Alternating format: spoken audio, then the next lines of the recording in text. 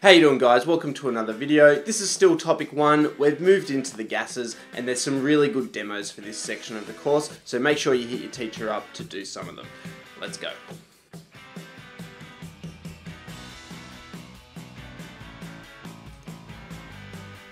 Okay, so volume 13, what is the molar volume? And we talk about Avogadro's law, we look at molar volume, and then we do some examples with some calculations. The IB understandings, applications and skills focus around Avogadro's law for the mole relationship between gases and we discuss this idea of molar volume of an ideal gas. So what is the theory of a gas? Okay, well the kinetic molecular theory is how we explain the behaviour of a gas. And we say that the gas particles are in constant random motion colliding with each other and the walls of the container. And you can see on that little diagram that they do, they bump into each other and the walls of the container. The volume occupied by the gas particles is very small when we compare it, compare it to the total volume of the container. We also say that the forces between the gas molecules are negligible, so there's very little forces between the gas molecules. The collisions are elastic, that is no energy is lost, and that the average kinetic energy, or how fast the particles move, is proportional to the kinetic, to the temperature. So the higher the kinetic energy, the faster the particles will be moved. Now the absolute temperature is measured in Kelvin, which we'll talk about later. So what are some of the differences between a liquid and a gas? Well, a liquid, its volume remains the same no matter what container you put it into. It will take the shape of the container, whereas a gas, its volume will change depending upon the container. Diffusion is the property of a gas where it goes from a high concentration to a low concentration. Now, when we talk about a gas, we're talking about ideal gases and their behavior, but no gas is actually ideal. We use this model to discuss the properties. So, so far we've looked at substances in terms of mass, but now we need to look at the relationship between a gas volume and the number of moles. So here's a little bit of an example. Consider that we have two jars filled with different gases. The flasks have the same temperature and are the same pressure and have equal volumes. We've got one gas container containing hydrogen gas, one bromine gas. So which jar contains the most number of particles? Well, at the same temperature and pressure, if they have the same volume, then those containers will contain the same amount in mole of gas particles. So this is a little trick. Under the same temperature and pressure, the gases will have the exact same number of particles. Their mole will be the same. This is an application of Avogadro's law, which says that equal volumes of gases at the same temperature and pressure contain equal numbers of molecules. And that leads us to an important understanding that at the same temperature and pressure, moles is proportional to volume. The more volume you have, the more moles you have. The smaller the volume you have, the smaller the number of moles. So we can say that volume is proportional to moles and we use this little proportional symbol to indicate that.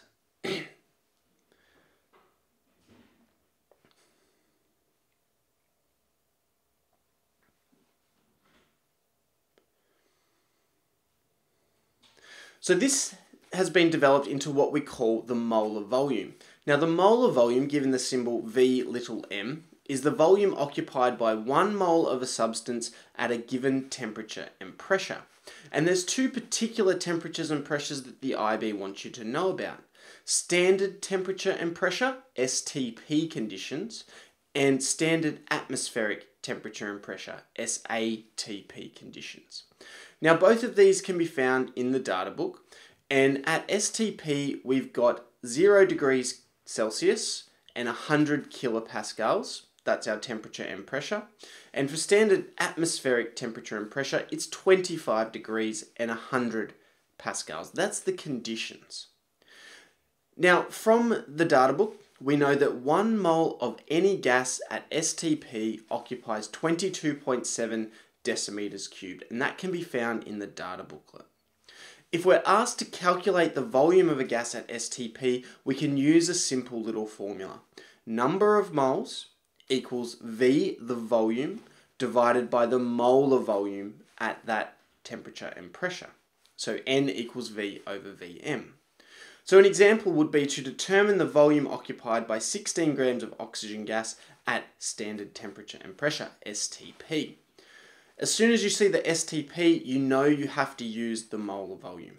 So to do this calculation, we need to work out the number of moles of oxygen gas by doing the mass over molar mass to give us 0.5 moles. So we have 0.5 moles of gas.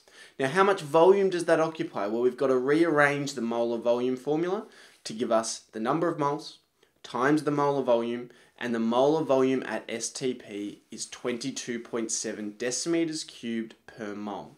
So we do that multiplication and that allows us to determine the volume of oxygen gas at those conditions.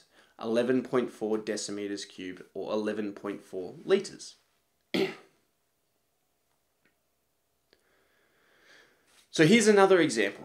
What volume of oxygen at standard temperature and pressure would be needed to completely burn one mole of butane? So for this one, we haven't been given an equation, so the place to start would be to write an equation for the combustion of butane. Remember butane, C4H10, it's combustion, so we add oxygen to the mixture, and that will form carbon dioxide and water. And we can balance those type of equations using the little saying called CHOD, balance for carbon, balance for hydrogen, and then if we've got an odd number of oxygens, we stick that oxygen, the number of oxygens out the front, which in this case is 13, and then we apply D for double and double everything else. So we've been told that we have one mole of butane and we need to work out the volume of oxygen that reacts with that one mole of butane. So we need to use the ratio in the equation to determine the number of moles. So we start off by using the equation to determine the number of moles of oxygen. So the number of moles of oxygen will be equal to the thing that we want, oxygen, so 13 over the thing that we've got or been given, 2, times by the number of moles of the thing that we know, and in this case that's butane. So it's 13 over 2 times 1, and then I'll convert that to a decimal, which gives me 6.5 moles. So I need 6.5 moles of oxygen to react with that butane. Now I need to work out the volume of oxygen by doing the number of moles times by the molar volume. They told me that it was at STP conditions and the molar volume at STP is 22.7. So I multiply those two together to work out the volume of oxygen gas that would react with that butane. 148 decimeters cubed, which is equivalent to 148 litres. So here's one that's a little bit more challenging. Calculate the volume of oxygen needed to completely react with 150 ml of carbon monoxide according to the equation. Assume all volumes are measured at the same temperature and pressure. Now that last bit is very important, same temperature and pressure, but they haven't specified that it's either STP or SATP, so we can't make that assumption. But what we can assume that because they're all measured at the same temperature and pressure, volumes are proportional to moles. So if we have 150 mils of carbon monoxide, I can assume that that's like 150 moles. And then I can work out my X, my oxygen, by simply just using the ratio between the two things because they're measured at the same temperature and the same pressure, so they have equal volumes. So that means I'm using my relationship. So I can simply go straight to the stoichiometry. The volume of O2 thing that we want, 1 over the thing that we've got, 2 multiplied by the volume of carbon monoxide, which allows us to work out the volume of O2 needed. Now this type of question only works when you when all the volumes are measured at the same temperature and pressure and they don't tell us what the conditions are, but this is what they want you to do. So we need half as much oxygen as we do carbon monoxide, so that's 75 mils. So now we can have the limiting excess situation going on as well. 40 centimeters of carbon monoxide is reacted with 40 centimeters of oxygen in the reaction below. What volume of carbon dioxide gas is produced? Assume all volumes are measured at the same temperature and pressure. So same idea as the last slide, we're not given the conditions, so we need to assume that volumes are proportional to moles. But in this case, I need to work out which one is limiting first. So the way I would do that is pretend that volumes are proportional to moles, so the number of moles of carbon monoxide I have would be 40. I've got 40 centimeters cubed, so I can pretend that that's 40. Now to work out if that's limiting, I divide by the coefficient, which in this case is 2, and then that's going to allow me to compare the carbon monoxide and the oxygen. So that gives me 20. The number of moles of O2, well that would be 40 divided by its coefficient, which is 1, so that would be 40. So from that, I can see that the carbon monoxide is the limiting factor in this equation, and then I need to use that to calculate the number of moles of carbon dioxide. But we're not, we don't want the number of moles, we want the volume. But volume is proportional to moles, so I use the same idea. So the volume of carbon dioxide is equal to its stoichiometric coefficient, 2, over the coefficient of the thing that we've got, 2 times by the volume of CO. So that just means they're the same. It's a one-to-one -one ratio. So that means the volume of CO2 produced will be the same as the volume of CO consumed, which is 40 centimeters cubed. Okay, volume 13, some top tips. Know when to use the law. That is when they say at the same temperature and the same pressure. And know what VM and STP mean. Especially if they use the term STP, they want you to use the VM value.